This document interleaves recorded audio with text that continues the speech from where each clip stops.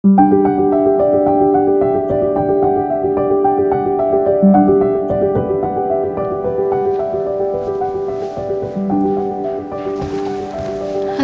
Hallo. ik ben Kim. Hallo, ik ben Laura. Aangenaam. Ik kom u eigenlijk een verhaal vertellen. Ja, oké.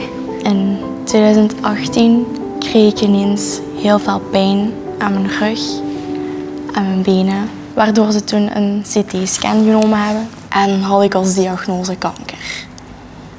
Dat was dus volledig uitgezaaid in heel mijn botten en in mijn longen. Ik was 18 jaar, dus mijn hele leven stort eigenlijk in. Toen ehm, heb ik chemo beginnen krijgen. Hoe meer chemo ik kreeg, hoe meer en meer mijn lichaam het eigenlijk opgaf. Ik heb dus echt heel veel bloedwaarden, bloedplaatjes moeten krijgen van onbekende donoren, want ik had het echt nodig. En daarna ging het eigenlijk veel beter tot op de dag van vandaag. Oké. Ik eh, weet dat jij bloeddonor bent en ik wil je daar gewoon heel graag voor bedanken, want zonder jullie had ik het niet gered. Maar ik ben, even, ik ben er even stil van.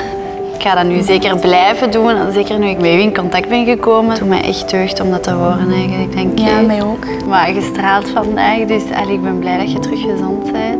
Net zoals dat van Laura kan ook jouw bloed levens redden. Maak nu een afspraak tijdens de periode van Valentijn voor een donordate met het Rode Kruis. Samen maken we het verschil.